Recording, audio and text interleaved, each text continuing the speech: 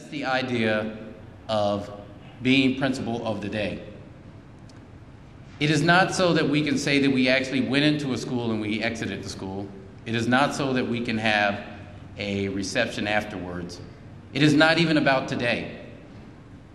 It is about the commitment to this school system for the future. It is a brief moment in time for us to get a snapshot of not just what our principals go through, not just what our teachers go through, but what our parents and our students go through. So that if you're the business that is thinking about how do I make a difference in a child's life, that you engage in a significant way in our school system. That if you are a legislator and you're thinking about passing laws, that you engage in a significant way. If you're a county executive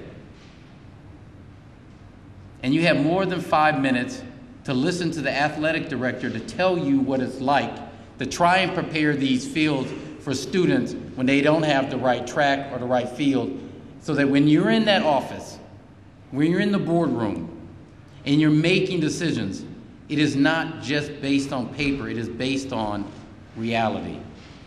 For a brief moment, that is what this day is about. So, what I wanted my child to learn, what I want all my children to learn, is that when they're making decisions, they put themselves in the feet of other people. And that's what this day is about. That is why I committed a whole day to it. Because imagine this very important decision has to be made about something going on in the county, and they say, Where is the county executive? Not in his office, not in his boardroom, but in a Prince George's County classroom. And somebody says, What the is he doing there? And we turn to him and say, He's in the most important place there is. Because if we don't get it right there, if we don't get it right in these buildings, nothing else we do in this county matters.